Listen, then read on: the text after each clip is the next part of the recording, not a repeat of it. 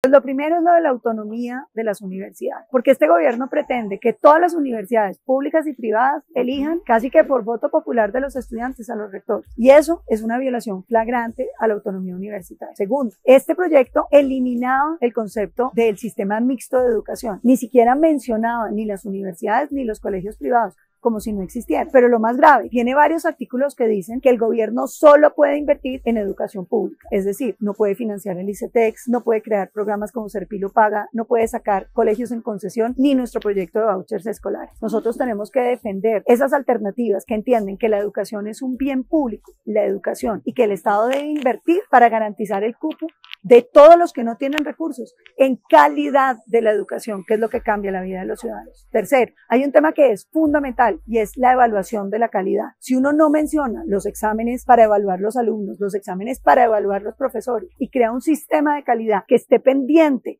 de que se cumplen los objetivos de aprendizaje, pues no está haciendo nada con la educación. Hay un tema que es fundamental también, del que les quiero hablar, y es la pertinencia de la educación, porque aquí están hablando de un montón de cosas, incluyendo saberes ancestrales, conocimientos tradicionales, que son muy buenos como complemento, pero tiene que haber una claridad meridiana de que aquí hay que enseñar a leer y a escribir bien, habilidades matemáticas y ciencias, que es finalmente lo que le permite a un niño poder sobresalir y poder entrar en la educación del mundo y ser un ciudadano mundial. Termino diciéndoles que por eso presentamos nuestra ponencia alternativa. Pero además, el gobierno hoy no tiene los votos para sacar su ponencia y van a tener que votar la ponencia de David Luna, de Germán Blanco, de Juan Carlos García y de De Luque, senadores todos que están ejerciendo una crítica también sobre este proyecto en varios de estos temas y que han dicho también que incluirán estos asuntos de los que les acabo de hablar para que podamos sacar una buena ley estatutaria. El gobierno tendrá que acompañar el proyecto de la oposición.